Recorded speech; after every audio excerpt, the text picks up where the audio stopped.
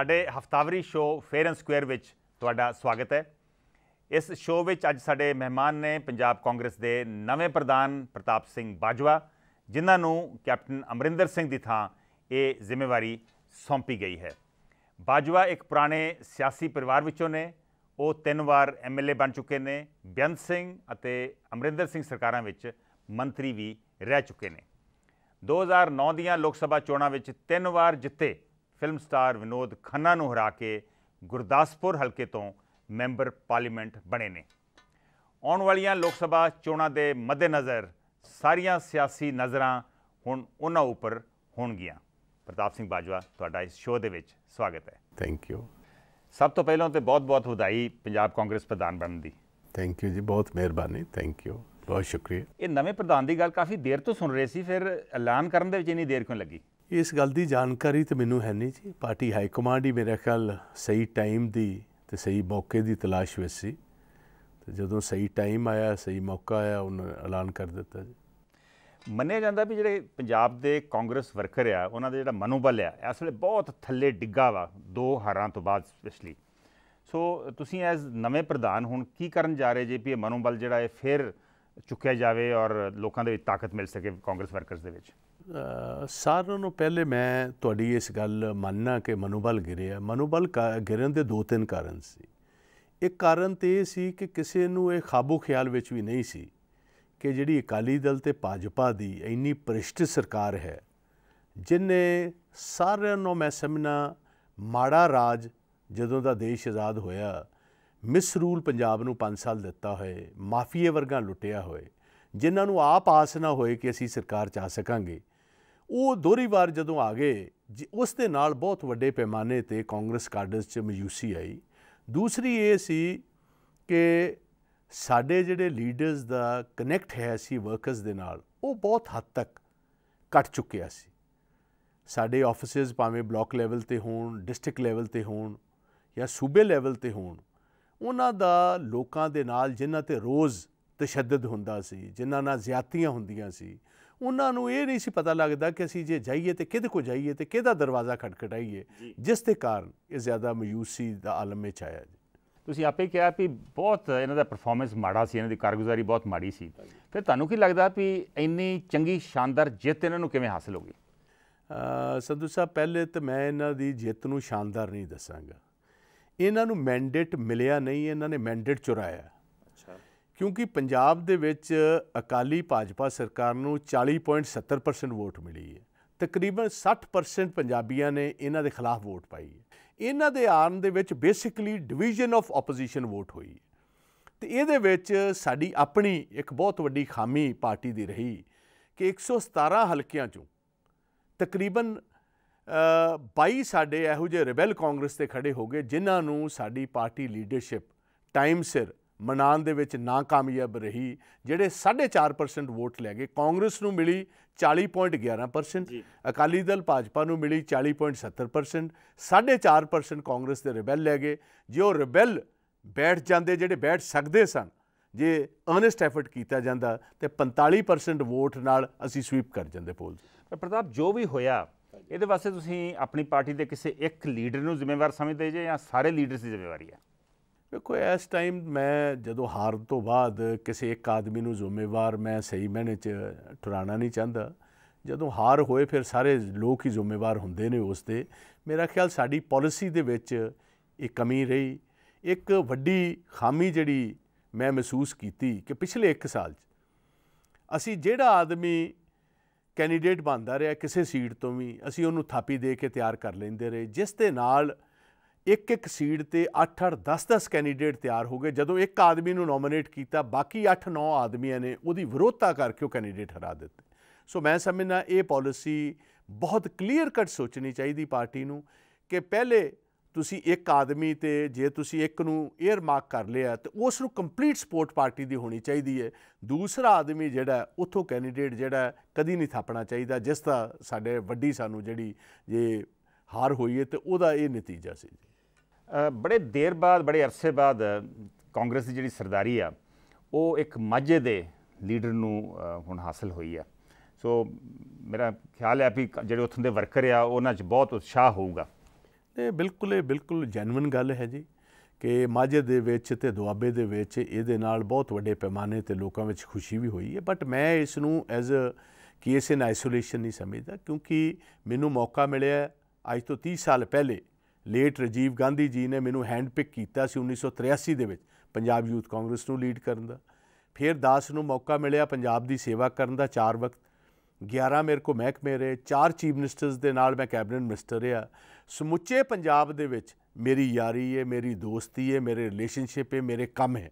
ਤੋ ਇਸ ਗੱਲ ਕਾਰਨ ਮੈਂ ਸਮਝਣਾ ਕਿ ਸਹੀ ਬੈਣੇ 'ਚ ਬੈਲੈਂਸ ਕੀਤਾ ਗਿਆ। ਕਿਉਂਕਿ ਕੈਪਟਨ ਅਮਰਿੰਦਰ ਸਿੰਘ ਜੀ ਮਾਲਵੇ ਦੇ ਨੇ ਉਹਨਾਂ ਦੀ ਵਾਈਫ ਮਿਨਿਸਟਰ ਨੇ, ਪ੍ਰਨੀਤ ਕੌਰ ਜੀ ਉਹ ਵੀ ਮਾਲਵੇ ਦੇ ਨੇ, ਸੁਨੀਲ ਜਾਖੜ ਸਾਡੇ ਸੀਐਲਪੀ ਦੇ ਲੀਡਰ, ਅਬੋਰ ਦੇ ਉਹ ਵੀ ਮਾਲਵੇ ਦੇ ਨੇ, ਬੀਬੀ ਰਜਿੰਦਰ ਕੌਰ ਪੱਟਲ ਜੀ ਫਾਰਮਰ ਚੀਫ ਮਿਨਿਸਟਰ ਤੇ ਜਗਮੀਤ ਸਿੰਘ ਬਰਾੜ ਵਰਕਿੰਗ ਕਮੇਟੀ ਦੇ ਜਿਹੜੇ ਸਾਡੇ ਮੈਂਬਰ ਨੇ ਤੇ ਮਨੀਸ਼ ਤਿਵਾੜੀ ਜੀ, ਇਹ ਸਾਰੇ ਹੀ ਉਸ ਇੱਕ ਰੀਜਨ ਨੂੰ ਬਿਲੋਂਗ ਕਰਦੇ ਨੇ ਸੇ ਸਾਡੇ ਕੋਲ ਬਹੁਤ ਵੱਡੇ ਪੈਮਾਨੇ ਤੇ ਆਲਰੇਡੀ ਲੀਡਰਸ਼ਿਪ ਹੈ। ਇਹ ਇੱਕ ਏਰੀਆ ਸੀ, ਜੇ ਤੁਸੀਂ ਵੇਖੋ ਟ੍ਰੈਡੀਸ਼ਨਲ ਤੌਰ ਤੇ 2007 ਤੇ 12 ਦੇ ਵਿੱਚ ਮਾਝੇ ਦੇ ਵਿੱਚ ਤੇ ਦੁਆਬੇ ਦੇ ਵਿੱਚੋਂ ਸਾਡੀਆਂ ਸੀਟਾਂ ਘਟੀਆਂ ਜਿਸ ਕਾਰਨ ਅਸੀਂ ਦੋਨੋਂ ਵਕਤ ਸਰਕਾਰ ਨਹੀਂ ਬਣਾ ਸਕੇ। ਮਾਝਾ ਕਾਫੀ ਦੇਰ ਤੋਂ ਨੈਗਲੈਕਟ ਹੋਇਆ ਇੱਕ ਤਰੀਕੇ ਦਾ। ਕਾਫੀ ਹੱਦ ਤੱਕ ਮੈਂ ਸਮਝਣਾ ਕਿ ਮਾਝਾ ਨੈਗਲੈਕਟ ਹੋਇਆ ਤੇ ਮਾਝੇ ਦੀਆਂ ਜਿਹੜੀਆਂ ਐਸਪੀਰੇਸ਼ਨਸ ਹੈ ਸੀ ਉਹਨਾਂ ਤੇ ਸਹੀ ਮਾਇਨੇ 'ਚ ਕੋਈ ਪੂਰਾ ਉਤਰ ਨਹੀਂ ਸਕਿਆ ਜੀ। ਪਿਛਲੀਆਂ ਵਿਧਾਨ ਸਭਾ ਚੋਣਾਂ ਦੇ ਵਿੱਚ ਮਾਝੇ ਦੇ ਵਿੱਚ ਕਰੀਬ 25 ਸੀਟਾਂ ਤੋਂ ਸ਼ਾਇਦ ਕਾਂਗਰਸ ਸਿਰਫ 9 ਸੀਟਾਂ ਜਿੱਤ ਸਕੀ। ਤੁਹਾਨੂੰ ਕੀ ਲੱਗਦਾ ਵੀ ਇਹਦਾ ਮੁੱਖ ਕਾਰਨ ਕੀ ਸੀ? ਜਿਹੜੀ ਅਕਾਲੀ ਭਾਜਪਾ ਸਰਕਾਰ ਆ ਉਹਨਾਂ ਦੀ ਚੰਗੀ ਕਾਰਗੁਜ਼ਾਰੀ ਜਾਂ ਤੁਹਾਡੇ ਆਪਸੀ ਜਿਹੜੀ ਫੁੱਟ ਸੀ ਪਾਰਟੀ ਦੇ ਵਿੱਚ? ਨਹੀਂ ਫੁੱਟ ਦੀ ਗੱਲ ਨਹੀਂ ਜੀ। ਮੈਂ ਤਾਂ ਮੇਰੇ ਪਾਰਲੀਮੈਂਟਰੀ ਹਲਕੇ ਦੇ ਵਿੱਚ ਅਸੀਂ 9 ਦੇ ਵਿੱਚੋਂ 5 ਸੀਟਾਂ ਜਿੱਤੇ ਆ। ਦੋ ਸੀਟਾਂ ਅਸੀਂ ਉਹ ਹਾਰੇ ਆ ਪਠਾਨਕੋਟ ਤੇ ਸੁਜਾਨਪੁਰ ਜਿੱਥੇ ਸਾਡੇ ਰਿਬੈਲ ਖੜੇ ਹੋ ਗਏ। ਹੁਣ ਪਠਾਨਕੋਟ ਦਾ ਮੈਂ ਤੁਹਾਨੂੰ ਵੇਰਵਾ ਦੇਣਾ ਚਾਹਨਾ ਕਾਂਗਰਸ ਦੇ ਕੈਂਡੀਡੇਟ ਨੂੰ ਮਿਲੀ ਹੈ 27000 ਜਿਹੜਾ ਸਾਡਾ ਰਿਬੈਲ ਸੀ, ਉਹਨੂੰ ਮਿਲੀ ਹੈ 25000 ਬੀਜੇਪੀ ਦੇ ਸਟੇਟ ਪ੍ਰਧਾਨ ਜਿਹੜੇ ਨੇ, ਉੱਥੋਂ ਐਮਐਲਏ ਬਣੇ, ਉਹਨਾਂ ਨੂੰ ਮਿਲੀ 42000 ਸਾਨੂੰ ਮਿਲੀ 52000 ਇਕੱਠਿਆਂ ਨੂੰ। ਇਸ ਤਰ੍ਹਾਂ ਹੀ ਸੁਜਾਨਪੁਰ ਨਾਲ ਦਾ ਹਲਕਾ ਹੈ। ਉਸ ਉਸ, ਉਹ ਵੀ ਸਪਲਿਟ ਨਾ ਹਾਰੀ। ਸੋ ਸਾਡੇ ਅੰਮ੍ਰਿਤਸਰ ਦੇ ਵਿੱਚ ਬਹੁਤ ਸਾਰੀਆਂ ਸੀਟਾਂ ਇਹੋ ਜੀਆਂ ਨੇ, ਜਿਹੜੀਆਂ ਅਸੀਂ ਇੱਕ ਹਫ਼ਤਾ ਪਹਿਲੇ ਕਿਸੇ ਨੂੰ ਦੇ ਕੇ ਕੈਂਪੇਨ ਦੌਰਾਨ, ਅਸੀਂ ਕੈਂਪੇਨ ਦੌਰਾਨ ਕੈਂਡੀਡੇਟ ਬਦਲ ਲਏ, ਜਿਸ ਕਾਰਨ ਸੀਟਾਂ ਹਾਰੀਆਂ। ਸੋ ਬੇਸਿਕਲੀ ਮਿਸਮੈਨੇਜਮੈਂਟ ਹੋਈ ਸਾਡੇ ਕੋਲ। ਅਕਾਲੀ ਭਾਜਪਾ ਸਰਕਾਰ ਜਿਹੜੀ ਆ ਉਹ ਸਾਰਾ ਮਾਝੇ ਦਾ ਜਿਹੜਾ ਕ੍ਰੈਡਿਟ ਆ ਉਹ ਬਿਕਰਮ ਸਿੰਘ ਮਜੀਠੀਏ ਨੂੰ ਦੇ ਰਹੇ ਆ ਉਹਨਾਂ ਨੂੰ ਮਾਝੇ ਦਾ ਜਰਨੈਲ ਵਜੋਂ ਉਹ ਪ੍ਰੋਜੈਕਟ ਕਰ ਰਹੇ ਆ ਵੇਖੋ ਵਿਕਰਮ ਸਿੰਘ ਮਜੀਠੀਏ ਨੂੰ ਕੋਈ 2% ਦੀ ਉਹਦੀ ਕੋਈ ਕੰਟਰੀਬਿਊਸ਼ਨ ਨਹੀਂ ਸੀ ਉਹ ਆਪਣਾ ਹਲਕਾ ਜ਼ਰੂਰ ਜਿੱਤਿਆ ਉਹਦੇ ਵਿੱਚ ਵੀ ਇੱਕ ਬਹੁਤ ਵੱਡੀ ਕੋਈ ਖਾਮੀ ਰਹੀ ਹੈ ਪਰ ਬੜੀ ਬੜੀ ਲੀਡ ਨਾਲ ਜਿੱਤਿਆ ਉਹ। ਉਹ ਇਸ ਗੱਲ ਤੇ ਮੈਂ ਅਜੇ ਟੈਲੀਵਿਜ਼ਨ ਤੇ ਟਿੱਪਣੀ ਨਹੀਂ ਕਰਨਾ ਚਾਹੁੰਦਾ देयर ਆਰ ਸਰਟਨ ਥਿੰਗਸ ਜਿਹੜੀਆਂ ਮੈਂ ਅੱਜ ਕਹਿ ਨਹੀਂ ਸਕਦਾ ਤੋ ਇਹ ਬੇਸਿਕਲੀ ਅਸੀਂ ਆਪਣੀ ਕਮੀ ਦੇ ਕਾਰਨ, ਆਪਣੀ ਜਿਹੜੀ ਸਾਡੀ, ਅਸੀਂ ਆਪਣੇ ਰਿਬੈਲਸ ਨਹੀਂ ਬਿਠਾ ਸਕੇ ਤੇ ਗਲਤ ਟਾਈਮ ਤੇ ਅਸੀਂ ਜਿਸ ਤਰ੍ਹਾਂ ਆਮ ਤੌਰ ਕਿਹਾ ਜਾਂਦਾ ਹੈ ਕਿ ਜਦੋਂ ਘੋੜਾ ਦਰਿਆ ਦੇ ਵਿੱਚ ਹੋਏ, ਕਦੀ ਨਹੀਂ ਬਦਲਿਆ ਜਾਂਦਾ। ਅਸੀਂ ਘੋੜੇ ਵੀ ਦਰਿਆ 'ਚ ਬਦਲ ਕੇ ਵੇਖ ਲਏ ਨੇ ਕਿ ਦੋਨੋਂ ਘੋੜੇ ਸਾਡੇ ਜਿਹੜੇ ਸੀ, ਹਰਪਾਲ ਸਿੰਘ ਪਾਠੀਆ ਸਾਡਾ ਯੂਥ ਦਾ ਲੀਡਰ ਸੀ, ਉਹਦੀ ਵਾਈਫ ਨੂੰ ਟਿਕਟ ਦਿੱਤੀ ਗਈ, ਜਿੱਥੋਂ ਬੀਬੀ ਨਵਜੋਤ ਕੌਰ ਸਿੱਧੂ ਜਿੱਤੇ ਨੇ। ਹਫ਼ਤੇ ਬਾਅਦ ਡਿਊਰਿੰਗ ਇੱਕ ਹਫਤਾ ਪਹਿਲੇ ਇਲੈਕਸ਼ਨਸ ਤੋਂ ਉਹਦੀ ਸੀਟ ਬਦਲ ਕੇ ਦੂਸਰੇ ਨੂੰ ਦੇ ਦਿੱਤੀ ਗਈ। ਉਹ ਵੀ ਸੀਟ ਅਸੀਂ ਹਾਰੇ। ਇਸ ਤਰ੍ਹਾਂ ਹੀ ਅਸੀਂ ਇੱਕ ਹੋਰ ਸੀਟ ਹੈ ਉਹ ਉੱਥੋਂ ਦੀ ਸਾਊਥ ਅੰਮ੍ਰਿਤਸਰ ਦੀ।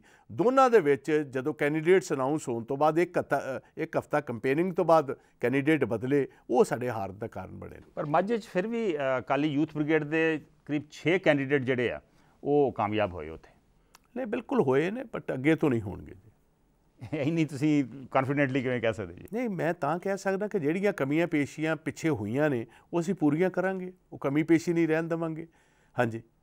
ਜੇ ਆਪਾਂ ਮਾਝੇ ਦੀਆਂ ਸੀਟਾਂ ਤੇ ਚੰਗੀ ਤਰ੍ਹਾਂ ਝਾਤੀ ਮਾਰੀਏ ਤੇ ਉੱਥੇ ਵੇਖਿਆ ਜਾਂਦਾ ਵੀ ਗੁਰਦਾਸਪੁਰ 'ਚ ਅਕਾਲੀ ਦਲ ਦੇ ਤਿੰਨ ਮੁੱਢ ਬੜੇ ਵੱਡੇ ਲੀਡਰ ਨਿਰਮਲ ਸਿੰਘ ਕਾਲੋਂ ਸੇਵਾ ਸਿੰਘ ਸੇਖਵਾਂ ਸੁੱਚਾ ਸਿੰਘ ਲੰਗਾ ਉਹ ਟਹਿ ਗਏ। ਇਹ ਕਿਵੇਂ ਹੋਇਆ? ਇਸੇ ਗੱਲੋਂ ਜੇ ਜਿੱਥੇ ਕੈਂਡੀਡੇਟ ਚੰਗੇ ਸੀ ਜਿੱਥੇ ਕੈਂਡੀਡੇਟਸ ਦੇ ਸਾਹਮਣੇ ਕੋਈ ਬਹੁਤੇ ਵੱਡੇ ਪੈਮਾਨੇ ਤੇ ਰਿਬੈਲ ਨਹੀਂ ਸੀ ਖੜੇ ਉਹ ਕੈਂਡੀਡੇਟ ਜਿੱਤ ਕੇ ਨਿਕਲ ਗਏ। ਵੇਖੋ ਜੇ ਅ, ਕੰਵਰ ਜੀ ਕਿਸੇ ਕੈਂਡੀਡੇਟ ਨੂੰ ਤੁਸੀਂ ਟਾਈਮ ਦੇਣਾ ਉਹਨੂੰ ਘੱਟ ਤੋਂ ਘੱਟ 5 ਸਾਲ ਚਾਹੀਦੇ ਨੇ। ਲੋਕਾਂ ਵਿੱਚ ਗੱਲ ਬਣਾਉਣ ਆਪਣੇ ਕਾਡਰ ਖੜਾ ਕਰਨ ਵਾਸਤੇ।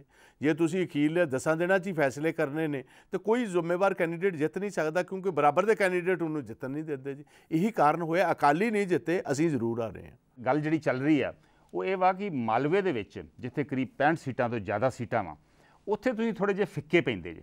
ਨਹੀਂ, ਮੌਕਾ ਤਾਂ ਮੈਨੂੰ ਹੁਣ ਦਿੱਤਾ, ਦੋ ਦਿਨਾਂ ਚ ਫਿੱਕੇ ਕਿਸ ਤਰ੍ਹਾਂ ਪੈ ਗਏ ਜੀ। ਅਜੇ ਮੌਕਾ ਦਿਓ, ਤੁਸੀਂ ਵੇਖਿਓ ਪੂਰੇ ਇਹਨਾਂ ਨਾਲ ਲੋਹਾ ਲਵਾਂਗੇ ਅਕਾਲੀਆਂ ਦੇ ਨਾਲ, ਤਗੜੇ ਹੋ ਕੇ ਮਾਲਵੇ ਚੋਂ ਤਗੜੇ ਹੋ ਕੇ ਨਿਕਲਾਂਗੇ। ਇਹ ਪ੍ਰਕਾਸ਼ ਸਿੰਘ ਬਾਦਲ ਹੁਣਾਂ ਨੇ ਕੋਈ ਰਜਿਸਟਰੀ ਨਹੀਂ ਮਾਲਵੇ ਦੀ ਕੀਤੀ ਇਹਨਾਂ ਨੇ। ਲੋਕ ਕੰਮ ਲੱਭਦੇ ਨੇ, ਲੋਕ ਅਵੇਲੇਬਿਲਟੀ ਲੱਭਦੇ ਨੇ, ਲੋਕ ਚਾਹੁੰਦੇ ਨੇ ਕਿ ਜਿਹੜੀਆਂ ਇਹਨਾਂ ਦੀਆਂ ਲੋਕ ਮਾਰੂ ਪਾਲਿਸੀਜ਼ ਨੇ ਉਹਨਾਂ ਦੇ ਖਿਲਾਫ ਤਗੜੇ ਤਗੜੇ ਹੋ ਕੇ ਸੜਕਾਂ ਤੇ ਨਿਕਲੀਏ। ਮੈਨੂੰ ਪੂਰਨ ਵਿਸ਼ਵਾਸ ਹੈ ਕਿ ਮਾਲਵਾ ਵੀ ਮੇਰੇ ਨਾਲ ਮਾਝੇ ਨੂੰ ਵੱਧ ਪਿਆਰ ਕਰੇਗਾ ਦੁਆਬਾ ਵੀ ਉਹਨਾਂ ਪਿਆਰ ਕਰੇਗਾ ਤੇ ਅਸੀਂ ਰਿਜ਼ਲਟ ਕੱਢ ਕੇ ਅਗਲੀ ਅਸੈਂਬਲੀ ਤੁਸੀਂ ਦੁਆਬੇ ਦੀ ਗੱਲ ਕੀਤੀ ਦੁਆਬੇ 'ਚ ਦਲਿਤ ਔਰ ਸ਼ਹਿਰੀ ਵੋਟ ਬਹੁਤ ਇੰਪੋਰਟੈਂਸ ਰੱਖਦੀ ਆ। ਉਹਦੇ ਵਾਸਤੇ ਕੀ ਤੁਹਾਡੇ ਕੋਲ ਸਟ੍ਰੈਟਜੀ ਆ ਕੀ ਤੁਹਾਡੇ ਕੋਲ ਤਰਕੀਬ ਹੈ ਵੇਖੋ ਕਮਲ ਜੀ ਇਸ ਤਰ੍ਹਾਂ ਹੈ। ਹੁਣ ਤੁਸੀਂ ਲੇਟਲੀ ਵੇਖਿਆ ਪ੍ਰਾਪਰਟੀ ਟੈਕਸ ਅਕਾਲੀ ਦਲ ਤੇ ਭਾਜਪਾ ਦੀ ਸਰਕਾਰ ਨੇ ਲਾਇਆ, ਜਿਹੜੇ ਅਪ੍ਰੈਲ ਦੇ ਪਹਿਲੇ ਹਫ਼ਤੇ 'ਚ ਸ਼ੁਰੂ ਹੋ ਰਿਹਾ ਇਸ ਪ੍ਰਾਪਰਟੀ ਟੈਕਸ ਦੇ ਨਾਲ 3500 ਕਰੋੜ ਰੁਪਇਆ ਸਮੁੱਚੇ ਪੰਜਾਬ 'ਚੋਂ ਇਕੱਠਾ ਕਰ ਰਹੇ ਨੇ। ਕੋਈ ਇਹਨਾਂ ਕੋਲ ਪਲਾਨ ਹੈ ਨਹੀਂ। ਤਿੰਨ ਵਾਰੇ ਬਿਜਲੀ ਦੇ ਰੇਟਸ ਵਧਾ ਬੈਠੇ ਨੇ। ਘਰਾਂ ਦੇ ਰੇਟ ਵੱਧ ਗਏ ਕਮਰਸ਼ੀਅਲ ਰੇਟਸ ਵੱਧ ਗਏ। ਰੇ ਜਿਹੜੀ ਰੇਤ ਤੇ ਬਜਰੀ ਹੈ ਇਹ ਪਿਛਲੇ 1 ਸਾਲ 'ਚ 6 ਗੁਣਾ ਮਹਿੰਗੀ ਹੋ ਗਈ। ਇੱਟਾਂ 2 ਗੁਣਾ ਮਹਿੰਗੀਆਂ ਹੋ ਗਈਆਂ। ਕੋਈ ਪ੍ਰਾਪਰਟੀ ਜਿੰਨੀ ਵੀ ਪੰਜਾਬ ਦੇ ਵਿੱਚ ਆਮ ਤੌਰ ਜਿਹੜੀ ਰੀਅਲ ਏਸਟੇਟ ਸੀ, ਉਹ ਕਾਂਗਰਸ ਦੇ ਰਾਜ 'ਚ ਬੜੀ ਪੈਮਾਨੇ ਤੇ ਇਨਕਰੀਜ਼ ਹੋਈ ਸੀ। ਬਹੁਤ ਸਾਰੇ ਲੋਕਾਂ ਦੀ ਇਨਵੈਸਟਮੈਂਟ ਲੱਗੀ ਹੈ। ਬਿਲਕੁਲ ਖਤਮ ਹੋ ਚੁੱਕੀ। ਤੁਸੀਂ ਇਸ ਟਾਈਮ ਵੇਖੋ ਸਟੈਂਪ ਡਿਊਟੀਆਂ ਅੱਧੇ ਰੇਟ ਤੇ ਆ ਗਈਆਂ। ਜਿੰਨਾ ਕੰਮ ਕਾਰੋਬਾਰ ਚੱਲਦਾ ਸੀ, ਘਰਾਂ ਦਾ, ਦੁਕਾਨਾਂ ਦਾ, ਉਹ ਸਾਰਾ, ਕਿਉਂਕਿ ਬਜਰੀ, ਰੇਤ ਮਹਿੰਗੀ ਹੋ ਗਈ, ਇੱਟਾਂ ਮਹਿੰਗੀਆਂ ਹੋ ਗਈਆਂ, ਉਹ 50% ਤੇ ਆ ਗਿਆ। ਲੋਕਾਂ ਕੋ ਕਾਰੋਬਾਰ ਕੋਈ ਨਹੀਂ ਇੰਡਸਟਰੀ ਉੱਥੇ ਕੋਈ ਨਹੀਂ। ਸਾਰੀ ਇੰਡਸਟਰੀ ਜਿਹੜੀ ਐਗਜ਼ਿਸਟਿੰਗ ਵੀ ਹੈ ਉਹ ਸਾਰੀ ਦੀ ਸਾਰੀ ਮੂਵ ਆਊਟ ਕਰ ਰਹੀ ਹੈ।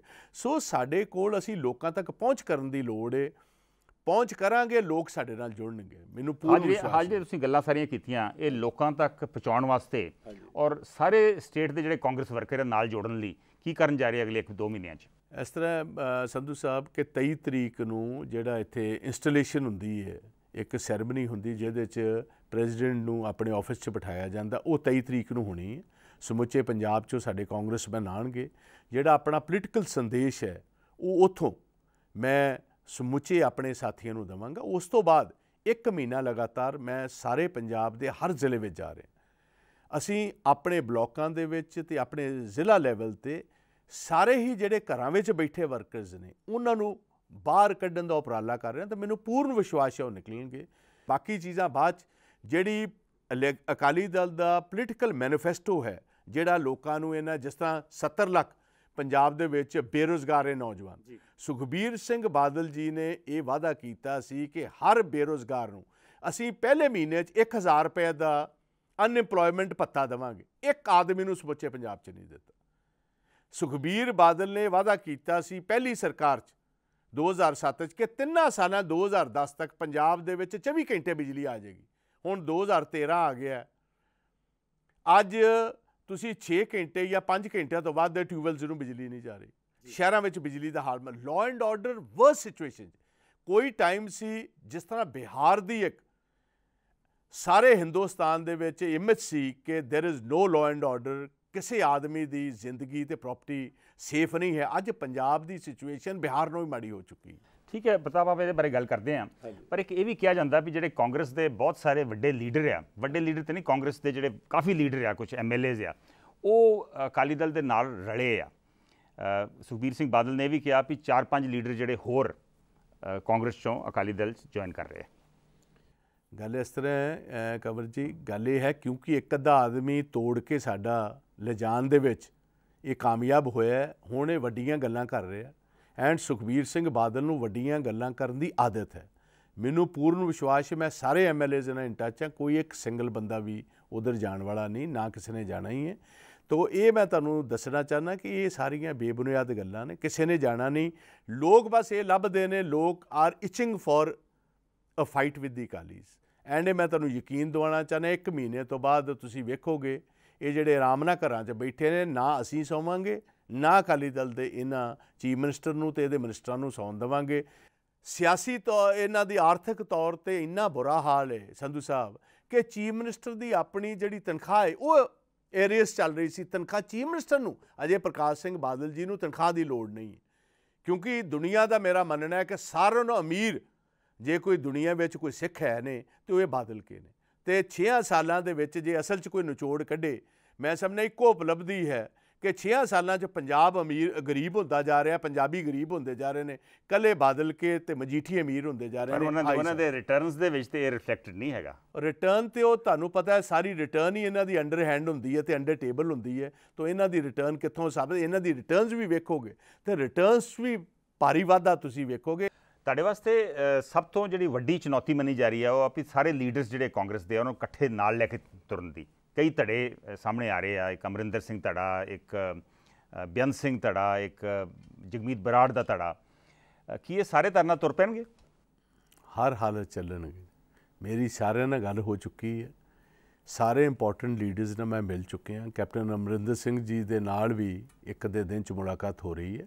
ਤੇ ਵੇਖੋ ਗੱਲ ਇਸ ਤਰ੍ਹਾਂ ਇਹ ਜੋ ਮੇਰੀ ਡਿਸੀਜਨ ਹੋਈ ਹੈ as a president of the Punjab Pradesh Congress ਇਹ ਸੋਨੀਆ ਜੀ ਤੇ ਰਾਹੁਲ ਜੀ ਦੀ ਡਿਸੀਜਨ ਤੇ ਸੀਨੀਅਰ ਲੀਡਰਸ਼ਿਪ ਨੂੰ ਮੈਂ ਯਕੀਨ ਦਿਵਾਉਣਾ ਚਾਹਨਾ ਤੁਹਾਡਾ ਇੱਜ਼ਤ, ਤੁਹਾਡਾ ਮਾਨ ਅਸੀਂ ਕਿਸੇ ਵੀ ਪ੍ਰੋਗਰਾਮ ਨੂੰ ਲਾਂਚ ਕਰਨ ਤੋਂ ਪਹਿਲੇ ਕੋਈ ਪੋਲੀਟੀਕਲ ਪ੍ਰੋਗਰਾਮ ਨੂੰ ਬਕਾਇਦਾ ਤੌਰ ਇਹਨਾਂ ਦੀ ਸਲਾਹ ਲੈ ਕੇ, ਇਹਨਾਂ ਨੂੰ ਕੌਨਫੀਡੈਂਸ 'ਚ ਲੈ ਕੇ ਉਸੇ ਮੁਤਾਬਕ ਚੱਲਾਂਗੇ। ਤਾਂ ਮੈਨੂੰ ਪੂਰਨ ਵਿਸ਼ਵਾਸ ਹੈ ਆਂਦੇ ਪੰਜਾਂ ਸੱਤਾਂ ਦਿਨਾਂ ਜਗਮੀਤ ਸਿੰਘ ਬਰਾੜ ਮੇਰੇ ਆਪ ਜਮਾਤੀ ਰਹੇ ਨੇ, ਅਸੀਂ ਇੱਕੋ ਸਕੂਲ ਦੇ ਰਹੇ ਹਾਂ। ਤੋ ਇਹ ਬੀਬੀ ਪੱਟਲ ਜਿਹੜੇ ਨੇ ਇਹਨਾਂ ਦੀ ਕੈਬਨਿਟ 'ਚ ਮੈਂ ਕੰਮ ਕੀਤਾ ਕੈਪਟਨ ਅਮਰਿੰਦਰ ਸਿੰਘ ਜੀ ਨਾਲ 5 ਸਾਲ ਮੈਂ ਮਿਨਿਸਟਰ ਰਿਹਾ। ਸੋ ਛੋਟੀਆਂ ਮੋਟੀਆਂ ਜਿਹੜੀਆਂ ਐਬਰੇਸ਼ਨਸ ਹੈ ਨੇ ਦੂਰ ਹੋ ਜਾਣਗੀਆਂ ਸਾਰੇ ਨਾਲ ਚੱਲਣਗੇ। ਕੈਪਟਨ ਅਮਰਿੰਦਰ ਸਿੰਘ ਨੇ ਆਪਣੇ ਪ੍ਰਧਾਨਗੀ ਦੇ ਅਖੀਰਲੇ ਕੁਝ ਦਿਨਾਂ ਦੇ ਵਿੱਚ ਪੰਜ ਛੇ ਲੀਡਰਸ ਨੂੰ ਕਾਰਨ ਦੱਸੋ ਨੋਟਿਸ ਇਸ਼ੂ ਕੀਤਾ ਸੀਗਾ। ਉਹ ਜਿਹੜਾ ਨੋਟਿਸ ਆ ਉਹ ਹੁਣ ਵੀ ਵਾਜਬ ਆ?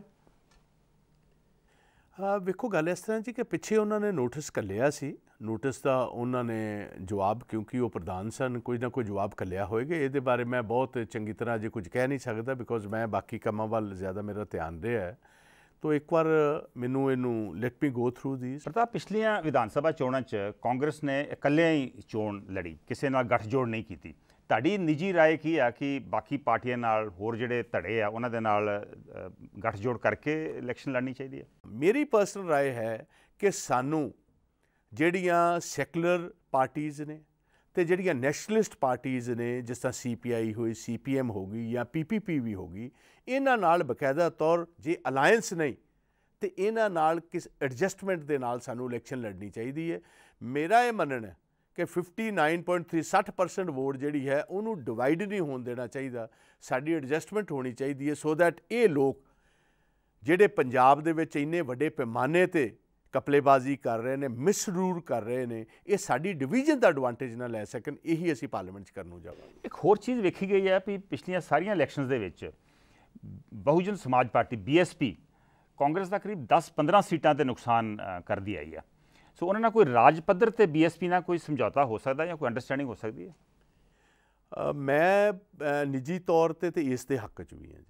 ਮੈਂ ਇਸ ਦੇ ਹੱਕ 'ਚ ਵੀ ਹਾਂ ਬਟ ਇਹਦਾ ਫੈਸਲਾ ਜਾਂ ਇਹਦੀ ਸੋਚ ਜਿਹੜੀ ਹੈ ਕਿਉਂਕਿ ਬੋਥ ਆਰ ਨੈਸ਼ਨਲ ਪਾਰਟੀਆਂ ਇਹ ਹੋ ਸਕਦੀ ਕਿ ਨਹੀਂ, ਇਹਦਾ ਜਵਾਬ ਦਿੱਲੀ ਵਾਲੇ ਹੀ ਦੇ ਸਕਣਗੇ। ਤੁਸੀਂ ਹੁਣੇ ਗੱਲ ਕੀਤੀ ਕਿ ਜਿਹੜਾ ਇਸ ਅਕਾਲੀ ਭਾਜਪਾ ਸਰਕਾਰ ਦਾ ਪਿਛਲੇ 1 ਸਾਲ ਦੀ ਜਿਹੜੀ ਕਾਰਗੁਜ਼ਾਰੀ, ਉਹ ਬਹੁਤ ਮਾੜੀ ਰਹੀ ਹੈ। ਫਿਰ ਇਹ ਮੋਗਾ ਬਾਈ ਇਲੈਕਸ਼ਨ ਕਾਫੀ ਮਾਰਜਨ ਨਾਲ ਜਿੱਤ ਗਈ, ਉਹ ਕਿਵੇਂ ਹੋਇਆ? ਸੰਧੂ ਸਾਹਿਬ, ਇਸ ਤਰ੍ਹਾਂ ਬਾਈ ਇਲੈਕਸ਼ਨਸ ਤੇ ਹੁਣ ਨਾ ਪ੍ਰਕਾਸ਼ ਸਿੰਘ ਬਾਦਲ ਜਿੱਤਦਾ, ਨਾ ਕੋਈ ਹੋਰ ਜਿੱਤਦਾ, ਇਹ ਬਾਈ ਇਲੈਕਸ਼ਨ ਤੇ ਪੰਜਾਬ ਪੁਲਿਸ ਜਿੱਤਦੀ। 5000 ਮੁਲਾਜ਼ਮ ਪੰਜਾਬ ਪੁਲਿਸ ਦਾ ਐਸਐਸਪੀ ਲੈਵਲ ਦਾ।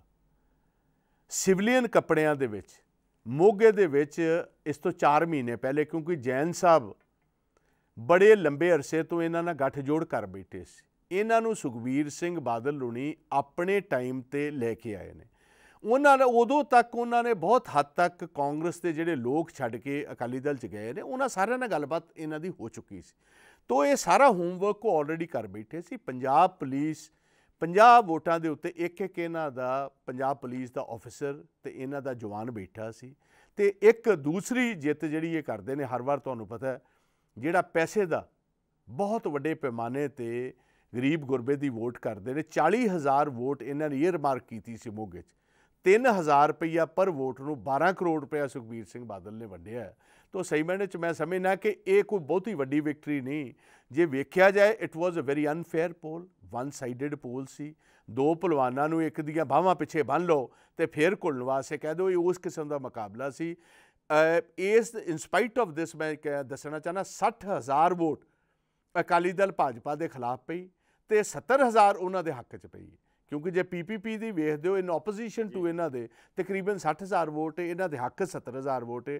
ਇੱਕ ਗੱਲ ਸੰਧੂ ਸਾਹਿਬ ਮੈਂ ਯਕੀਨ ਦਿਵਾਉਣਾ ਚਾਹਨਾ ਮੈਂ ਦਾਅਵੇ ਨਾਲ ਕਹਿ ਸਕਦਾ ਜਿੰਨੀ ਮਰਜ਼ੀ ਵੱਡੀ ਸ਼ਰਤ ਮੇਰੇ ਨਾਲ ਸੁਖਬੀਰ ਸਿੰਘ ਜਾਂ ਕੋਈ ਲਗਾਣ ਲਗਾਏ ਮੈਂ ਲਗਾਉਣ ਨੂੰ ਤਿਆਰ ਹਾਂ ਕਿ ਆਉਣ ਵਾਲੀ ਪਾਰਲੀਮੈਂਟ 'ਚ ਤੁਸੀਂ ਵੇਖੋਗੇ ਆਪਾਂ ਬਾਕੀ ਦੇ ਵਿੱਚ ਤੇ ਹੁੰਜਾ ਫੇਰ ਜਿੱਤ ਕਾਂਗਰਸ ਦੀ ਹੋਣੀ ਹੋਣੀ ਹੈ ਬਟ ਮੋਗੇ ਤੇ ਮੈਂ ਤੁਹਾਨੂੰ ਅੱਜ ਤੁਹਾਡੀ ਟੀਵੀ ਇੰਟਰਵਿਊ 'ਚ ਕਹਿ ਕੇ ਚੱਲਿਆ। ਅਕਾਲੀ ਦਲ ਭਾਜਪਾ ਦਾ ਜਿਹੜਾ ਕੈਂਡੀਡੇਟ ਪਾਰਲੀਮੈਂਟ ਚਾਹੇਗਾ ਫਰੀਦਕੋਟ 'ਚ ਉਹ ਘੱਟ ਤੋਂ ਘੱਟ 20000 ਵੋਟ ਜਿਹੜੀ ਹੈ ਮੋਗਾ ਸੈਗਮੈਂਟ ਤੋਂ ਹਾਰੇਗਾ ਇਹ ਮੈਂ ਤੁਹਾਨੂੰ ਦੱਸਣਾ ਚਾਹੁੰਦਾ। ਇੱਥੋਂ ਤੱਕ ਲੋਕਾਂ ਦਾ ਗੁੱਸਾ ਇਹਨਾਂ ਦੇ ਪ੍ਰਤੀ ਹੈ ਜਿਹੜਾ ਮੈਂ ਵੇਖਿਆ ਜਿਨ੍ਹਾਂ ਨੂੰ ਇਹ ਕਿਸੇ ਹਿਸਾਬ ਦੇ ਵਿੱਚ ਦਬਾ ਕੇ ਡਰਾ ਕੇ ਪੈਸੇ ਦੇ ਕੇ ਜਿਹੜਾ ਪਿਛਲੇ 1 ਸਾਲ ਦੇ ਵਿੱਚ ਤੁਹਾਡੇ ਮੁਤਾਬਿਕ ਇਸ ਸਰਕਾਰ ਦੀ ਸਭ ਤੋਂ ਵੱਡੀ ਜੇ ਆਪਾਂ ਇੱਕ ਗੱਲ ਗਿਣਾਉਣੀ ਹੋਵੇ ਵੱਡੀ ਫੇਲਿਅਰ ਕਿਹੜੀ ਹੈ? ਸਾਰਿਆਂ ਨਾਲੋਂ ਵੱਡੀ ਫੇਲਿਅਰ ਹੈ ਇਹਨਾਂ ਦੀ ਲਾਅ ਐਂਡ ਆਰਡਰ ਪੁਲਿਸ ਨੂੰ ਇਹਨਾਂ ਨੇ ਐਜ਼ ਪ੍ਰਾਈਵੇਟ ਮਲੀਸ਼ੀਆ ਇਸਤੇਮਾਲ ਕਰ ਰਹੇ ਨੇ। ਜਿੰਨੀ ਪੁਲਿਸ ਫੋਰਸ ਹੈ, ਇਹ ਥਾਣੇਦਾਰਾਂ ਦੇ ਕਹਿਣ ਤੇ ਐਸਐਚਓ ਲੱਗ ਰਹੇ ਨੇ ਡੀਐਸਪੀ ਇਹਨਾਂ ਦੇ ਕਹਿਣ ਤੇ ਲੱਗ ਰਹੇ ਚੇਨ ਆਫ ਕਮਾਂਡ ਟੁੱਟ ਚੁੱਕੀ ਹੈ। ਕੋਈ ਕਿਸੇ ਦੇ ਕਹਿਣੇ ਹੈ ਚ ਹੈ ਨਹੀਂ। ਅੱਜ ਤੁਸੀਂ ਵੇਖ ਰਹੇ ਹੋ ਕੀ ਹਾਲਾਤ ਬਣੇ ਨੇ। ਪਹਿਲੀ ਵਾਰ ਮੈਂ ਵੇਖਿਆ, ਪੰਜਾਬ ਪੁਲਿਸ ਹਿੰਦੁਸਤਾਨ ਦੀ ਇੱਕ ਪ੍ਰੀਮੀਅਰ ਫੋਰਸ ਹੁੰਦੀ ਸੀ। ਲੋਕ ਮਾਨ ਕਰਦੇ ਸੀ ਕਿ ਕੰਪੀਟੈਂਟ ਫੋਰਸ ਹੈ, ਦਲੇਰ ਫੋਰਸ ਹੈ ਤੇ ਜਸਟਿਸ ਦੇਣ ਵਾਲੀ ਹੈ। ਮੇਰਾ ਖਿਆਲ ਹੈ ਇਸ ਟਾਈਮ ਜਿੰਨੀ ਇਹ ਬੇਕਾਬੂ ਇਹ ਪੁਲਿਸ ਹੋਈ ਹੈ ਲੋਕਾਂ ਦਾ ਗੁੱਸਾ ਵੇਖੋ ਕਿ ਅੱਜ ਤੋਂ ਹਫਤਾ ਪਹਿਲੇ ਕਿਸਾਨਾਂ ਨੇ ਇੱਕ ਏਐਸਆਈ ਕੁੱਟ-ਕੁੱਟ ਮਾਰ ਦਿੱਤਾ ਜਿਹੜਾ ਉਹਨਾਂ ਨੂੰ ਗ੍ਰਿਫਤਾਰ ਕਰਨ ਗਿਆ ਸੀ। ਤੇ ਅੱਜ ਤੋਂ 3 ਮਹੀਨੇ ਪਹਿਲੇ ਇੱਕ ਏਐਸਆਈ ਰਵਿੰਦਰਪਾਲ ਸਿੰਘ ਆਪਣੀ ਨੌਜਵਾਨ ਬੱਚੀ ਨੂੰ ਯੂਨੀਫਾਰਮ 'ਚ ਬਚਾਉਣ 'ਚ ਨਾਕਾਮਯਾਬ ਹੋਇਆ। ਅਕਾਲੀ ਦਲ ਦੇ ਗੁੰਡਿਆਂ ਨੇ ਬੇਰਹਿਮੀ ਨਾਲ ਉਹਦਾ ਕਿਸ ਤਰ੍ਹਾਂ ਕਤਲ ਕੀਤਾ? ਕਤਲ ਕਰਨ ਤੋਂ ਬਾਅਦ ਜਿਸ ਹਿਸਾਬ ਦੇ ਨਾਲ ਸਭ ਕੁਝ ਮੀਡੀਆ ਇਹ ਸਾਰਾ ਕੁਝ ਮੀਡੀਆ 'ਚ ਆ ਚੁੱਕਾ ਸੋ ਸਾਰਿਆਂ ਨੂੰ ਵੱਡਾ ਫੇਲਿਅਰ ਪੰਜਾਬ ਦੂਜੇ ਪਾਸੇ ਦਾਵਾ ਸਾਹਿਬ ਪ੍ਰਕਾਸ਼ ਸਿੰਘ ਕਰਦੇ ਨੇ ਕਿ ਹਿੰਦੁਸਤਾਨ ਦੀ ਸਾਰਿਆਂ ਨੂੰ ਪੀਸਫੁਲ ਸਟੇਟ ਇਹ ਮੇਰਾ ਖਿਆਲ ਕੱਲੀ ਪ੍ਰਕਾਸ਼ ਸਿੰਘ ਬਾਦਲ ਤੇ ਸੁਖਬੀਰ ਸਿੰਘ ਬਾਦਲ ਵਾਸਤੇ ਹੋਏਗੀ। ਇੱਕ ਇੱਕ ਸਧਾਰਨ ਪੰਜਾਬੀ ਵਾਸਤੇ ਨਹੀਂ। ਜੇ ਇਸ ਸਰਕਾਰ ਦੀ ਕੋਈ ਆਪਾਂ ਕਾਮਯਾਬੀ ਦੱਸਣੀ ਹੋਵੇ ਉਹ ਕੀ ਹੋਊਗੀ? ਹਾਂ ਇਹਨਾਂ ਦੀ ਇੱਕ ਕਾਮਯਾਬੀ ਵੱਡੀ ਰਹੀ ਹੈ 6 ਸਾਲ 'ਚ। ਕਿ ਇਹਨਾਂ 6 ਸਾਲਾਂ ਵਿੱਚ ਬਾਦਲ ਪਰਿਵਾਰ ਸਿੱਖਾਂ ਦੇ ਵਿੱਚੋਂ ਸਾਰਿਆਂ ਨੂੰ ਅਮੀਰ ਪਰਿਵਾਰ ਦਿੱਲੀ ਸਾਰੀ ਦੁਨੀਆ ਵਿੱਚ ਬਣਨ ਵਿੱਚ ਕਾਮਯਾਬ ਹੋਇਆ। ਭਾਵੇਂ ਰੇਤ ਹੋਏ, ਭਾਵੇਂ ਬਜਰੀ ਹੋਏ, ਭਾਵੇਂ ਕੇਬਲ ਨੈਟਵਰਕ ਹੋਏ, ਭਾਵੇਂ ਟਰਾਂਸਪੋਰਟ ਦਾ ਮਹਿਕਮਾ ਹੋਏ ਤੇ ਪੰਥਕ ਸਰਕਾਰ, ਜਿਹੜੀ ਇੱਕ ਪਾਸੇ ਤੇ ਰੋਜ਼ ਟੈਲੀਵਿਜ਼ਨਾਂ ਤੇ ਇਹ ਗੱਲ ਕਹੇ ਕਿ ਨੌਜਵਾਨ ਬੱਚੇ ਸਾਡੇ ਜਿਹੜੇ ਨੇ, ਇਹ ਗੁਰੂ ਘਰ ਨਾਲ ਜੁੜਨ ਤੇ ਅੰਮ੍ਰਿਤਤਾ ਪਾਨ ਕਰਨ ਦੂਜੇ ਪਾਸੇ ਸਾਰੇ ਸ਼ਰਾਬ ਦੇ ਠੇਕੇ ਇਹਨਾਂ ਦੇ ਕੰਟਰੋਲ 'ਚ ਨੇ। ਤੇ ਇਹ ਵੀ ਮੈਂ ਗੱਲ ਦੱਸਣਾ ਚਾਹਨਾ ਸੰਧੂ ਸਾਹਿਬ, ਅੱਜ ਪਿੰਡਾਂ ਦੇ ਵਿੱਚ ਇਹ ਕੁਐਸਚਨ ਮਾਰਕ ਆਂਦੇ ਵਕਤ ਦੇ ਵਿੱਚ ਅਸੀਂ ਉਠਾਵਾਂਗੇ। ਸਾ ਪ੍ਰਕਾਸ਼ ਸਿੰਘ ਜੀ, ਗੁਰਦੁਆਰਾ ਪ੍ਰਬੰਧਕ ਕਮੇਟੀ ਤੇ ਕੰਟਰੋਲ ਤੁਹਾਡਾ ਰਿਹਾ।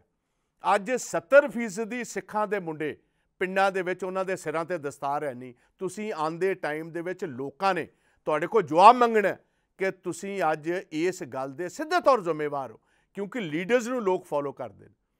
ਤੁਸੀਂ ਹਰ ਇਲੈਕਸ਼ਨ ਦੇ ਵਿੱਚ ਨਸ਼ਿਆਂ ਦਾ ਜਿਹੜਾ ਸੇਵਨ ਕਰਦੇ ਹੋ, ਪੈਸੇ ਦਾ ਜਿਹੜਾ ਕਰ ਰਹੇ ਹੋ ਤੁਸੀਂ ਸਾਰੀਆਂ ਕਦਰਾਂ ਕੀਮਤਾਂ ਜਿਹੜੀਆਂ ਨੇ ਸਾਰੇ ਇੰਸਟੀਟਿਊਸ਼ਨਸ ਤਬਾਹ ਕਰਨ ਤੇ ਤੁਲੇ ਹੋ ਇਹਦੀ ਤੁਹਾਨੂੰ ਕੀਮਤ ਅਦਾ ਕਰਨੀ ਪੈਗੀ ਤੇ ਲੋਕ ਤੁਹਾਡੇ ਕੋਲ ਇਹਦਾ ਜਵਾਬ ਮੰਗਣਗੇ ਤੇ ਤੁਹਾਨੂੰ ਜਵਾਬ ਦੇਣਾ ਪਏਗਾ ਪ੍ਰਤਾਪ ਤੁਹਾਨੂੰ ਕੀ ਲੱਗਦਾ ਪਿਛਲੀ ਲੋਕ ਸਭਾ ਚੁਣਾਵ ਦੇ ਵਿੱਚ 13 ਤੋਂ ਕਾਂਗਰਸ 8 ਸੀਟਾਂ ਜਿੱਤ ਗਈ ਸੀ।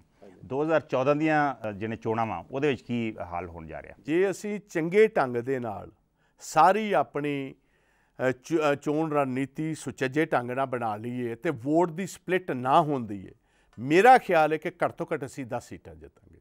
ਇਹ ਮੇਰਾ ਪੂਰਨ ਵਿਸ਼ਵਾਸ ਹੈ 10 ਸੀਟਾਂ ਕਿਉਂਕਿ ਮੈਨੂੰ ਪਤਾ ਹੈ ਸੰਧੂ ਸਾਹਿਬ। ਪਰ ਜਿਹੋ ਜਿਹਾ ਪ੍ਰਦਰਸ਼ਨ ਕਾਂਗਰਸ ਦਾ ਰਿਹਾ ਵਾ ਪਿਛਲੇ 6 ਸਾਲ 'ਚ ਕਿਤੇ ਸੀਟਾਂ ਘੱਟ ਨਹੀਂ ਜਾਣਗੀਆਂ? ਨਹੀਂ 6 ਸਾਲ 'ਚ ਨਹੀਂ ਆ ਜਿਹੜੀ ਇਹ ਸਾਡੀ ਪਾਰਲੀਮੈਂਟ ਦੀ ਪੋਲ ਤੇ 4 ਸਾਲ ਪਹਿਲੇ ਹੋਈ ਹੈ। 65 ਅਸੈਂਬਲੀ ਸੈਗਮੈਂਟ ਦੇ ਵਿੱਚ ਅਸੀਂ ਜਿੱਤ ਕੇ ਨਿਕਲੇ ਆ ਤੋਂ ਮੈਂ ਇਹ ਪੂਰਨ ਤੌਰ ਤੇ ਮੈਂ ਤੁਹਾਨੂੰ ਇਹ ਦਾਅਵੇ ਨਾਲ ਕਹਿ ਸਕਦਾ ਕਿ ਅਸੀਂ 10 ਸੀਟਾਂ ਮਿਨੀਮਮ 10 ਸੀਟਾਂ ਜਿੱਤ ਕੇ ਆਵਾਂਗੇ। ਇਹ ਵੀ ਗੱਲ ਆਈ ਜਾਣੀ।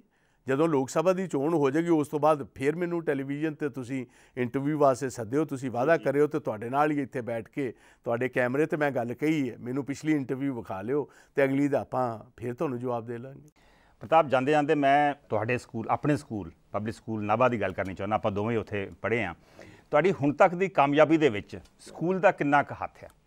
ਇਹ ਬਹੁਤ ਵੱਡਾ ਹੱਥ ਹੈ ਜੀ ਕਿਉਂਕਿ ਜਿਹੜੀ ਜਿਸ ਤਰ੍ਹਾਂ ਤੁਹਾਨੂੰ ਯਾਦ ਹੋਏਗਾ ਇੱਕ ਬੜੀ ਹਿਸਟੋਰਿਕ ਗੱਲ ਹੈ ਕਿ ਜਦੋਂ ਵਾਟਰ ਬੈਟਲ ਆਫ ਵਾਟਰਲੂ ਹੋਈ ਹੈ ਤੇ ਵਾਟਰਲੂ ਦੀ ਬੈਟਲ ਤੋਂ ਬਾਅਦ ਜਦੋਂ ਲਾਰਡ ਨੈਲਸਨ ਜਦੋਂ ਜੰਗ ਜਿੱਤ ਕੇ ਗਏ ਨੇ ਉਹਨਾਂ ਨੂੰ ਬਹੁਤ ਵੱਡੇ ਪੈਮਾਨੇ ਤੇ ਲੋਕਾਂ ਨੇ ਇੱਜ਼ਤ ਮਾਨ ਸਨਮਾਨ ਦਿੱਤਾ ਇੰਗਲੈਂਡ ਦੇ ਵਿੱਚ ਤੇ ਉਹਨਾਂ ਨੂੰ ਇਹੀ ਸਵਾਲ ਉਹਨਾਂ ਨੂੰ ਪੁੱਛਿਆ ਗਿਆ ਕਿ ਤੁਸੀਂ ਦੱਸੋ ਕਿ ਤੁਹਾਡੀ ਸਟ੍ਰੈਟਜੀ ਕੀ ਸੀ? ਇਹ ਜਿਹੜੀ ਬੈਟਲ ਆਫ ਵਾਟਰਲੂ ਤੁਸੀਂ ਜਿੱਤੀ ਇਹਦਾ ਕਾਰਨ ਕੀ ਸੀ? ਤੇ ਉਹਨਾਂ ਨੇ ਉਸ ਟਾਈਮ ਇੱਕ ਹਿਸਟੋਰਿਕ ਗੱਲ ਕਹੀ ਸੀ the battle of Waterloo was won on the play play fields of Eton ਕਿ ਜੋ ਮੈਨੂੰ ਮੇਰੇ ਸਕੂਲ ਨੇ ਸਿਖਾਇਆ, ਜਿਹੜੀ ਮੇਰੇ ਚ ਸਪਿਰਿਟ ਸਪੋਰਟਸਮੈਨ ਦੀ ਪੈਦਾ ਕੀਤੀ, ਉਹ ਜਿਹੜੀ ਹੈ ਤਾਂ ਉਹੀ ਮੈਂ ਗੱਲ ਕਹਿ ਸਕਦਾ ਕਿ ਜਿਹੜੀ spirit Punjab public school Nabha ਨੇ ਪੈਦਾ ਕੀਤੀ, ਜਿਹੜੀ ਅਸੀਂ ਗਰਾਊਂਡਸ ਦੇ ਵਿੱਚ, ਉਥੇ ਕਾਫੀ ਚੰਗੇ ਸਪੋਰਟਸਮੈਨ ਵੀ ਸੀ ਖਾਸ ਕਰਕੇ ਗੋਲਾ ਸੁੱਟਣ 'ਚ ਤੁਸੀਂ ਕਾਫੀ ਮਾਹਰ ਸੀ। ਮਿਹਰਬਾਨੀ ਹੈ ਤੁਹਾਡੀ। ਆ ਵੀ ਪੰਜਾਬ ਦਾ ਗੋਲਾ ਵੀ ਹੁਣ ਜਿਹੜਾ ਹੈ ਇਹ ਵੀ ਦੂਰ ਤੱਕ ਸੁੱਟਣਾ ਪੈਣਾ ਹੈ ਤੇ ਮੈਨੂੰ ਪੂਰਨ ਵਿਸ਼ਵਾਸ ਹੈ ਗੁਰੂ ਮਹਾਰਾਜ ਸਾਹਿਬ ਦੀ ਕਿਰਪਾ ਦੇ ਨਾਲ ਤੇ ਆਪਣੇ ਪੰਜਾਬੀਆਂ ਦੇ ਸਾਰੀਆਂ ਗੁੱਡ ਵਿਸ਼ੇਸ ਨਾਲ ਤੇ ਵਿਸ਼ੇਸ਼ ਤੌਰ ਐਕਸ ਨਾਬਾਈਟਸ ਸਾਡੇ ਸਕੂਲ ਦੇ ਜਿਹੜੇ ਮੇਰੇ ਦੋਸਤ ਨੇ ਉਹਨਾਂ ਦੀ ਗੁੱਡ ਵਿਸ਼ੇਸ ਦੇ ਨਾਲ ਅਸੀਂ ਇੱਥੇ ਵੀ ਕਾਮਯਾਬੀ ਪ੍ਰਾਪਤ ਕਰਾਂਗੇ ਜਿਸ ਤਰ੍ਹਾਂ ਲਾਰਡ ਨੈਲਸਨ ਨੇ ਵਾਟਰਲੂ 'ਚ ਕੀਤੀ ਸੀ। ਇਹ ਵੀ ਜੰਗ ਜਿਹੜੀ ਹੈ ਪੰਜਾਬ ਦੇ ਵਿੱਚ ਕਿਉਂਕਿ ਬਹੁਤ ਜ਼ਰੂਰੀ ਹੈ। ਸੰਧੂ ਸਾਹਿਬ ਇੱਕ ਗੱਲ ਸਾਹ ਪ੍ਰਤਾਪ ਸਿੰਘ ਕੈਰੋਂ ਵੇਲੇ ਇਹ ਇੱਕ ਨੰਬਰ ਦਾ ਸੂਬਾ ਸੀ। ਅੱਜ ਸਰਦਾਰ ਪ੍ਰਕਾਸ਼ ਸਿੰਘ ਬਾਦਲ ਨੂੰ ਮੈਂ ਪੁੱਛਣਾ ਚਾਹੁੰਦਾ 12ਵੇਂ ਨੰਬਰ ਤੇ ਆ। ਪਿਛਲੇ 5 ਸਾਲ ਦੇ ਵਿੱਚ 6 ਨੰਬਰ ਤੋਂ 12 ਨੰਬਰ ਤੇ ਸਲਿੱਪ ਹੋਇਆ ਹੈ ਪੰਜਾਬ ਜਿਹੜਾ। ਇਹਦਾ ਜਵਾਬ ਸਰਦਾਰ ਪ੍ਰਕਾਸ਼ ਸਿੰਘ ਜੀ ਤੁਹਾਨੂੰ ਦੇਣਾ ਪਏਗਾ। ਅਸੀਂ ਐਤਕੀ ਇਹ ਜਵਾਬ ਲਵਾਂਗੇ। ਪੰਜਾਬ ਦੇ ਲੋਕਾਂ ਕੋ ਜਾਵਾਂਗੇ ਤੇ ਲੋਕ ਜਵਾਬ ਲੈਣਗੇ। ਨੌਜਵਾਨਾਂ ਨੂੰ ਇਹਨਾਂ ਦੇ ਤਗੜੇ ਹੋ ਕੇ ਇਹਨਾਂ ਦੇ ਦੁਆਲੇ ਕਰਾਵਾਂਗੇ ਜਿਨ੍ਹਾਂ ਨੂੰ ਇਹਨਾਂ ਨੇ ਹੁਡਵਿੰਗ ਕੀਤਾ ਜਿਨ੍ਹਾਂ ਨੂੰ ਇਹਨਾਂ ਨੇ ਬਕਾਇਦਾ ਤੌਰ ਚਾਸਾ ਦੇ ਕੇ ਵੋਟਾਂ ਲਈਆਂ ਨੇ ਇਹਨਾਂ ਨੂੰ ਇਸ ਇਲੈਕਸ਼ਨਾਂ ਦੇ ਵਿੱਚ ਅਸੀਂ 100% ਦੀ ਤਗੜੇ ਹੋ ਕੇ ਜਿੱਤ ਕੇ ਆਵਾਂਗੇ। ਮੇਰਾ ਪੂਰਨ ਵਿਸ਼ਵਾਸ ਹੈ ਤੁਹਾਨੂੰ। ਜੀ ਪ੍ਰਤਾਪ ਜੀ ਸਾਡੇ ਸਟੂਡੀਓ ਆਏ ਸਾਡੇ ਨਾਲ ਗੱਲਬਾਤ ਕੀਤੀ ਬਹੁਤ ਬਹੁਤ ਧੰਨਵਾਦ। ਬਹੁਤ ਬਹੁਤ. ਮਿਹਰਬਾਨੀ ਤੁਹਾਡੇ ਟੈਲੀਵਿਜ਼ਨ ਚੈਨਲ ਦਾ ਵੀ। ਮੈਂ ਇਸ ਗੱਲ ਦੀ ਵੀ ਤੁਹਾਨੂੰ ਮੁਬਾਰਕ ਦੇਣਾ ਚਾਹੁੰਦਾ ਕਿ ਤੁਹਾਡਾ ਚੈਨਲ ਪੰਜਾਬ ਦੀ ਸੱਚੀ ਇੱਕ ਬੁਲੰਦ ਆਵਾਜ਼ ਹੈ। ਤੁਸੀਂ ਹਮੇਸ਼ਾ ਪੰਜਾਬ ਦੇ ਜਿਹੜੇ ਪ੍ਰੋ ਪੀਪਲ ਪਾਲਿਸੀਜ਼ ਨੇ ਉਹਨਾਂ ਨੂੰ ਲੈ ਕੇ ਉਜਾਗਰ ਕਰਦੇ ਹੋ ਮੈਂ ਤੁਹਾਡਾ ਬਹੁਤ ਬਹੁਤ ਸ਼ੁਕਰਾਨਾ ਕਰਨਾ ਚਾਹੁੰਦਾ। ਸੰਧੂ ਸਾਹਿਬ ਤੁਹਾਡਾ ਤੇ ਤੁਹਾਡੇ ਚੈਨਲ ਦਾ ਬਹੁਤ ਬਹੁਤ ਸ਼ੁਕਰੀਆ Thank you. ਬਹੁਤ ਬਹੁਤ ਮਿਹਰਬਾਨੀ। ਇਹ ਸਨ ਮੈਂਬਰ ਪਾਰਲੀਮੈਂਟ ਅਤੇ ਪੰਜਾਬ ਕਾਂਗਰਸ ਦੇ ਨਵੇਂ ਪ੍ਰਧਾਨ ਪ੍ਰਤਾਪ ਸਿੰਘ ਬਾਜਵਾ। ਉਹਨਾਂ ਨੂੰ ਪੂਰੀ ਆਸ ਹੈ ਕਿ ਉਹ ਕਾਂਗਰਸ ਨੂੰ ਆਉਣ ਵਾਲੀਆਂ ਲੋਕ ਸਭਾ ਚੋਣਾਂ ਵਿੱਚ ਜਿੱਤ ਹਾਸਲ ਕਰਵਾ ਸਕਣਗੇ। ਉਹਨਾਂ ਦੀ ਰਣਨੀਤੀ ਕੀ ਹੋਵੇਗੀ? ਉਹ ਸੁਖਬੀਰ ਸਿੰਘ ਬਾਦਲ ਨੂੰ ਕਰੜੇ ਹੱਥੀਂ ਲੈ ਸਕਣਗੇ ਜਾਂ ਨਹੀਂ, ਇਹ ਆਉਣ ਵਾਲੇ ਕੁਝ ਦਿਨਾਂ ਵਿੱਚ ਜ਼ਾਹਿਰ ਹੋ ਜਾਏਗਾ। ਇਸ ਸ਼ੋਅ ਵਿੱਚ ਇੰਨਾ ਹੀ। ਨਮਸਕਾਰ, ਸਤਿ ਸ੍ਰੀ ਅਕਾਲ, ਖੁਦਾ ਖਬਰਾਂ ਦੀ ਦੁਨੀਆ ਵਿੱਚ ਆਓ। ਸਾਡੇ ਨਾਲ ਕਦੇ ਵੀ ਤੇ ਕਿਤੋਂ ਵੀ ਜੁੜੋ। ਆਪਾਂ ਮਿਲਾਂਗੇ ਫੇਸਬੁੱਕ ਤੇ। ਅਸੀਂ ਦਿਖਾਂਗੇ YouTube ਤੇ। ਸਾਨੂੰ ਫੋਲੋ ਕਰੋ ਟਵਿੱਟਰ ਤੇ। ਖਬਰਾਂ ਨਾਲ ਜੁੜੇ ਰਹੋ ਦਿਨ ਰਾਤ।